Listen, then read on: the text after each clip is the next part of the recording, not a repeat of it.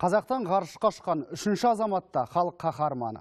Ғарышкерге отан орденімен алтын жұлдыз қабат табысталып, Айдын Айымбетов халық қаһарманы атанды. Айдын Айымбетов космоста салмақсыздық жағдайында кулонды кристалл алуды зерттеді. Сондай-ақ елдің экологиялық проблемалары бар өңірлерін зерделеген. Мысалы, аралдың ахуалын мониторингтен өткізіп, ғарыштан суретке түсірген. Сонымен қатар, денсаулық сақтау саласына қатысты маңызды сынақтар жасаған. Адамзат баласы жаралғалы ғарышқа көз тігумен келеді. Қазақтың көне ертегілеріндегі ұшатын кілем, құлағын бұрасан көкке самғайтын ағаш ат, тағысын тағы мысалдар біздің жұрттың ғарыш тұрғысындағы қиялына қанат болып байланды. Алғашқы адамның да туалысқа қазақ жерінен ұшқанның символдық мәні зор. Қазақтың байқоңыры ғарыштың алғашқы қақпасын айналды. Міне сол байқоңырдан ғаламдық кеңістікке барып оралған Айдын Айымбетов лайықты атақ алып отыр. Сол атақты президент өз қолымен тапсырғанда қаһарманда ептеп қобалжыған. Жұмыр жерді жайлаған адам ата ұрпағы ғарышқа о бастан ғашық. Көкті қақ жарып кеңістікке сапар шегу кез келген пендеге тіпті кез келген мемлекетке бұйырмайтын бақ. Сол бақыт соңғы 60 жылда 38 мемлекеттің 545 ғарышкеріне ғана бұйырыпты. Олардың ішінде біздің жерлесіміз қазақтың қаһарман перзенті айдында бар. Мемлекет басшысының жарлығымен батырымызға отан ордені алтын жұлдыз белгісі және ұшқыш ғарышкер атағы табысталды. Біз бүгін халқымыздың батырұлы қазақстанның үшінші ғарышкері айдын айымбетовті марапаттауға жиналдық. Өткен айда ол қазақстанның ғарыштық бағдарламасы аясында халықаралық ғарыш станциясында 10 күндік сапарға барып қайтты. Осы күндегі 17 миллион қазақстанның барлығы бұл шараға қарап айдынға тілектес болып отырды. Ел тілегі қабыл болып ол алыс сапардан абыройменен оралды.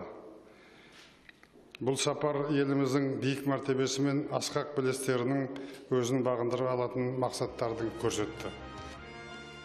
Президенттің қолынан марапат алар тұста. Айдын айымбетов сәл қобалжығаны рас. Әркез сезімтал нұрсұлтан назарбаев батыр ұлдың ішкі толқынысын аңғарып ағалық ақылын айтып дем берді. Аса мәртебелі елбасы мен сіздің тапсырмаңызбен ғарышқа сапар сапар шегіп Оралдым Ты же военный. Командирским голосом говори.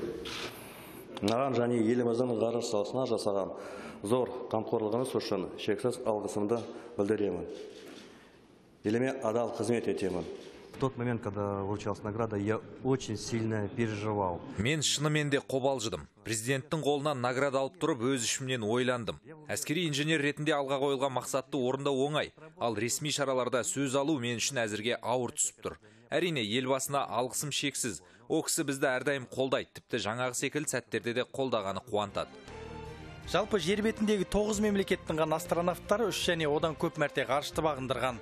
Айымбетовтің сәтті сапарынан соң қазақстанда сол тоғыздықтан ойып тұрып орын алды. Бұл әрине елбасының сарада сарабдал саясатының жемісі деді айдын айымбетов.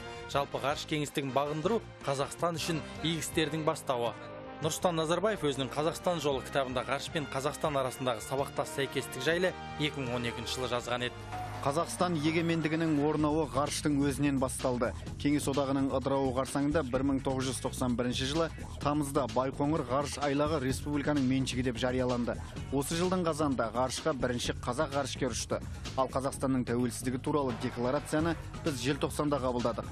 Яғни ұлттық мемлекет болғымыз келген ниетімізді біз жерден гөрі ғарышта бұрынырақ мәлімдеген сияқтымыз. Мен бұл жөнінде қазір көп жылдар өткеннен кейін жоғарыдан берілген ишараны көремін. Президенттің қолынан ең жоғарғы мемлекеттік наградаларды алған айдын айымбетов елбасына көк байрақты сыйға тартты. Бұл байрақ 10 күн ішінде дөңгеленген дүниені 150 мәрте айналып шыққан.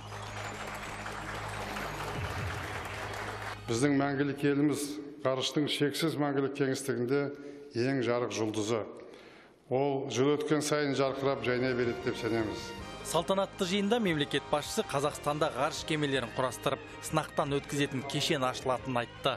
Тмд да теңдесі жоқ кәсіпорын астанада бой көтереді. Сондай ақ өткен жылы жоғары дәлдіктегі жерді бақылау жүйесі іске қосылды. Бұда қазғарыш бағындырған белестің біреуі. Маман даярлау мәселесі де бір ізделген болашақ стипендиясының егерлері әлемнің үздік оқу орындарында ғарыш саласы бойынша тәлім алып жүр. Ал саналы ғұмырын отан үшін сарп еткен тоқтар әубәкіров осыдан 24 жыл бұрын Нұрсұлтан Назарбаевтың қолынан награда алған сәтін сағына еске алды. қазір мен қараймын мынау айдын бірінші орын алса да өзін өзі ұстау біледі. Мен бізге берген уақытта осы жүрегім шығып кете жалдаған.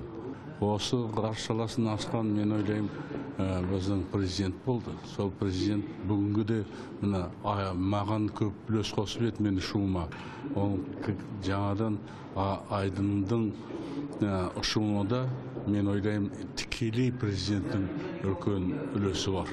Сонымен біздің ғарышкерлер бәрі бәріміз де сол президенттің арқасында ғарышқа ұштық 2011 жылдан бері қазғарыштың қатысуымен 37 ғылыми зерттеу жұмысы жүзеге асты. Нәтижесінде 5 патент алынды. Талғат мұсабаев өзі басқаратын мамандардың алар асулары әлі алда деп отыр. Біз жұмыс істейміз біз көп сөйлей алмаймыз. Ақордада ардақталған айдын айымбетов ел үшін аянбай еңбек ететінін айтып жетісуға жол тартты. Айға ұшқан айдын талдықорғанның тумасы. Осы жерде айдын аспанды армандап көкке көз тікті. Тек талдықорған ғана емес алты алаштың аманатын арқалаған қаһарманды жерлестері тік тұрып қарсы алды. Жастар спорт сарайына жиналған жұртта есеп жоқ. Иә рас біздің айдын қандай сый сияпатқа да лайық. Жұлдыздарға жол ашқан айдынды жерлестері жерге қаратпады. Атқа мінген арда ауылына әкімшілік қара жердің қайығы тойотаның кілтін табыстады. Нөмірі де есіне лайық. Қазақтың үшінші ғарышкері мінетін темір тұлпардың нөмірі 003 бұл біз үшін үлкен мақтаныш өйткені біздің ауылдың азаматы болды біздің мектеп қаланың мектебінен оқыған сондықтан біз оған тек қана аман сау болуын және еңбекте де жемісте де алда болуын тілейміз болашақ ғарышкердің қанаты осы нөмір 14 мектеп гимназиясының қабырғасында қатайды.